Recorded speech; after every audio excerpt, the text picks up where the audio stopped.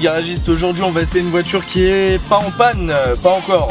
Essayez aujourd'hui une Fiat Ritmo Abarth, la 130 TC. On se retrouve après le générique, préparez-vous une bière, c'est parti.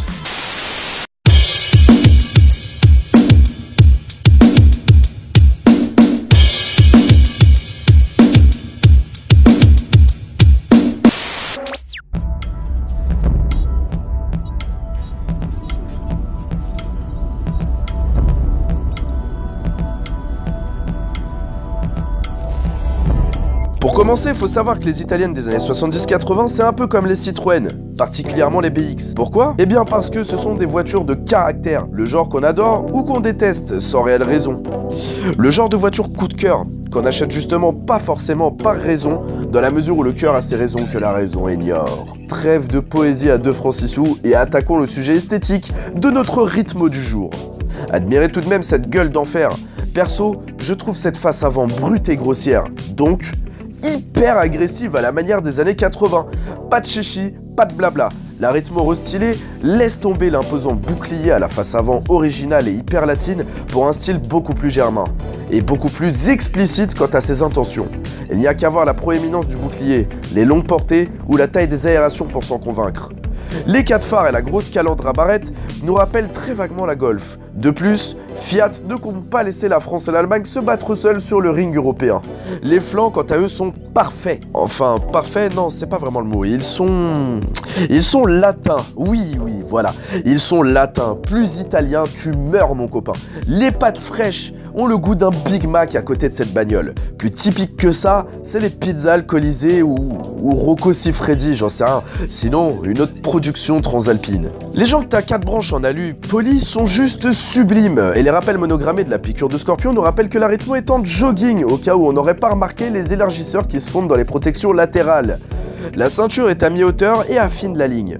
Mention spéciale pour les custodes sans joint, joliment crayonnés, qui fuient vers le pavillon. Magnifique. Tout comme la forme de la poignée de porte. Des formes euh, ovoïdes, rondes. Sans doute le seul élément rond avec les phares et les jambes d'ailleurs. À croire qu'en Italie, dans les années 80, eh ben on ne disposait que d'une règle et d'une équerre pour dessiner une bagnole. Et pour finir sur le style, parlons du pétard de la rythmo. Si j'étais objectif, je dirais qu'il manque un peu de dynamisme et que le dessin est tombant. Mais en bagnole, surtout en ancienne, il faut être des fois un petit peu subjectif et moi je me dois d'être honnête avec moi-même pour l'être avec vous. Et moi personnellement j'en suis juste hyper fan. Pourquoi? Eh bien parce que gros béquet, gros pare-choc, gros phare, grosse sortie d'échappement. Voilà pourquoi. Ça respire le sport. Et franchement, c'est très comment dire, c'est très personnel. On ne la confond pas avec autre chose. Et vu les perfs sur le papier, c'est ce que le client de petite sportive est amené à voir le plus souvent avant de s'offrir lui-même une abarque. Donc autant qu'il pète le feu.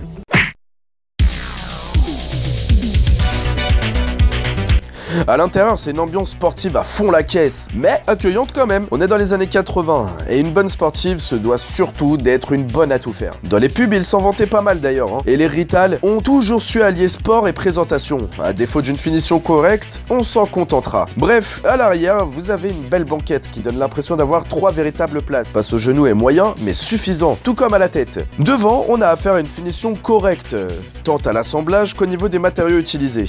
Enfin, correct. Correct par rapport aux GTI contemporaines, cela va sans dire. Donc oui, les plastiques par endroits sont cassants. Les sièges sont comparables à mes tabourets de cuisine. Et oui, quand je ferme la portière, j'ai peur d'arracher les charnières ou la poignée. Mais croyez-le ou non, dans une 205 GTI ou une R5 GTT, c'est exactement la même ambiance. Bref, ceci mis à part, le dessin de la planche de bord est fidèle à l'extérieur. Il est rempli d'angles à 90 degrés.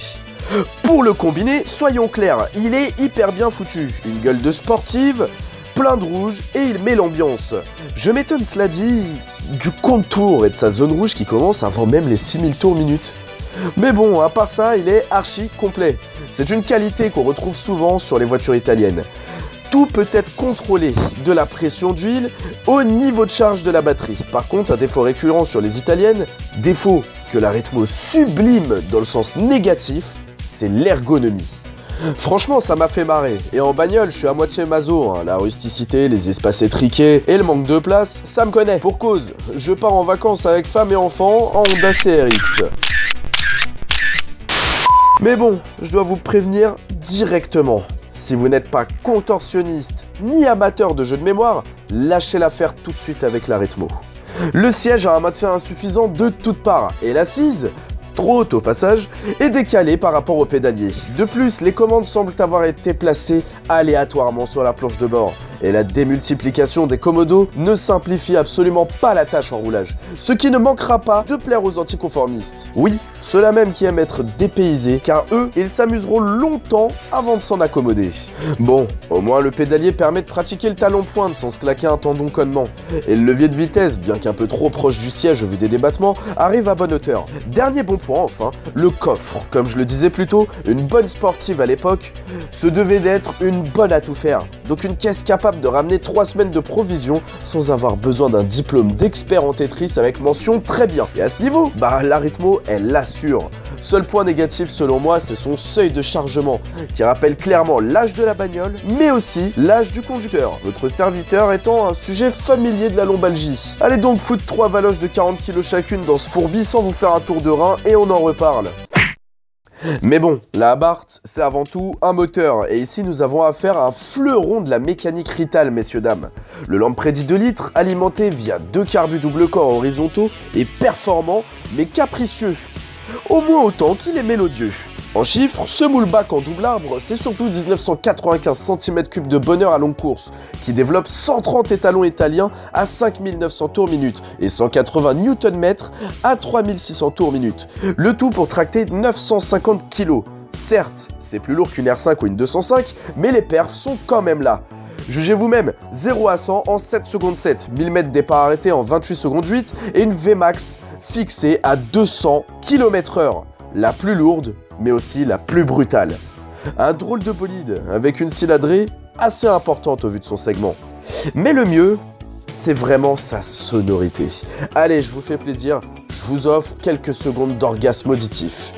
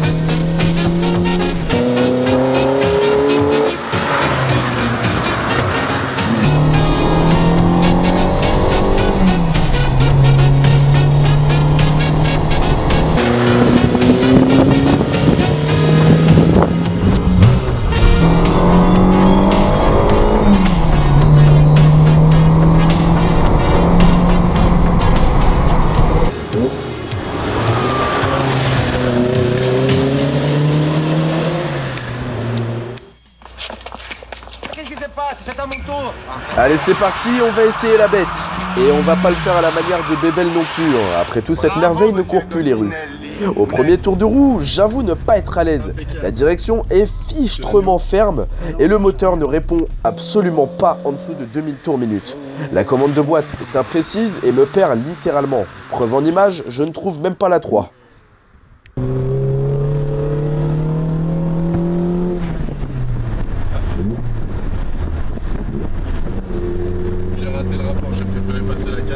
La suspension est sèche et manque d'amorti, ça grève le confort et les freins semblent justes. Mais bon, ils sont encore froids. Bref, on sent que cette voiture, c'est pas de la rigolade. Bonne à tout faire, c'est une certitude, mais du moment qu'on le fait vite. Cette bagnole n'aime pas rouler au ralenti ou rester coincée dans les bouchons. Et il lui faut de l'air et une semelle de plomb pour lui botter le cul. Et pour ça, quoi de mieux que de foutre les gaz à fond? C'est encore ce que le Lampredi aime le plus. L'aiguille atteint alors très vite les 2000 tours minutes. La poussée commence à se faire ressentir avant de réellement nous bousculer 500 tours plus tard. Et ce, jusqu'à 5500 tours minutes où il est opportun de changer de rapport. Ce qui nous permet de nous émoustiller telle une petite pucelle devant un boys band quand l'échappement pétarade plus en deux secondes qu'un bouquet final un 14 juillet.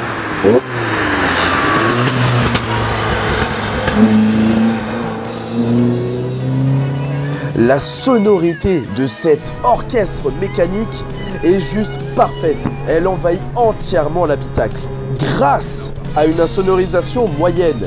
Ce que j'adore tout particulièrement quand il chante juste. Un véritable ténor à la manière d'un Luciano Pavarotti. Bref, pour l'étagement de la boîte, on a une première étrangement longue par rapport au reste des rapports. Ce qui la rend utilisable pour les amateurs de course de côte, pourvu qu'on relance assez haut en régime le moteur. Franchement, c'est très bien étudié pour la souille. Pour vous la faire courte, la première est longue, la 2 est courte, la 3 est très longue, la 4 est un chouïa plus courte, et la 5 est dans la mouvance de la 4. Donc clairement pour faire de la ville c'est chiant, et sur autoroute c'est peut-être pas la meilleure des bagnoles. Mais pour allumer avec une deuxième très vive et une troisième hyper polyvalente, c'est juste parfait. Dommage cela dit que la commande de boîte nous emmène de temps en temps dans les sièges, à cause de débattements trop longs, et trop peu précis au verrouillage également. Et surtout, surtout, beaucoup trop lent. Rien de catastrophique, mais ça casse un petit peu les excès de zèle pour les amateurs qui aiment tenir le manche. Au niveau châssis, c'est pas dégueulasse, hein, cassons le coup aux idées reçues. J'ai conduit des savonnettes beaucoup plus flippantes que celle-là, et certaines beaucoup plus récentes. Bref, j'ai pas envie d'être méchant, la voiture aurait été excellente et vraiment au-dessus de tout soupçon si elle était sortie 10 ans plus tôt. Elle procure un grand plaisir, mais voilà, le souci est qu'elle renvoie beaucoup trop aux années 70. Dans la mesure où elle était vendue dans les années 80, ça devient un véritable problème, car je me dois de la juger face à ses contemporaines, largement plus modernes de conception au final, et c'est assez injuste. Même si je ne suis qu'un amateur, je me dois d'être honnête dans mon essai. Bon, bref, elle permet quand même d'entrer en courbe comme un petit porcinet, sans trop souvirer malgré des porte-à-faux assez importants et une inertie due à un gros moteur.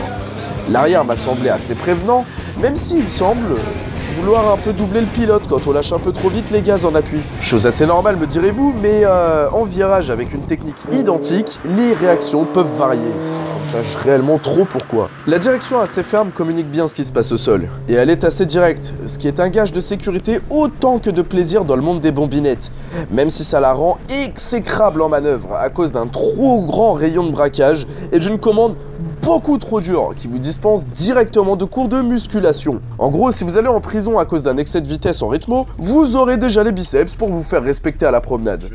En bref, une GTI dans toute sa splendeur. Mais allez savoir pourquoi, il lui manque un je ne sais quoi de précision. Surtout à la motricité en sortie de virage.